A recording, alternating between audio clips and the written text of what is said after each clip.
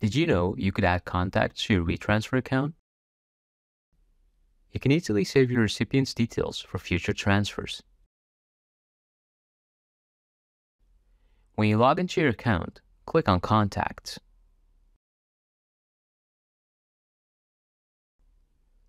Click on Add Contact to add a new contact.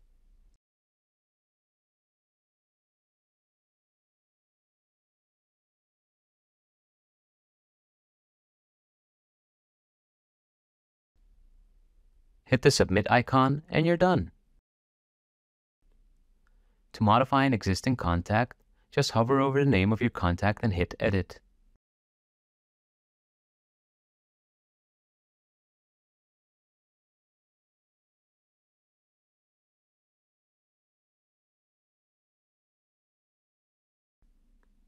You can easily add multiple contacts to a transfer by clicking on Add to Transfer. With a WeTransfer account, you can send each transfer to up to 10 recipients or up to 50 contacts with a WeTransfer subscription. Easy, right?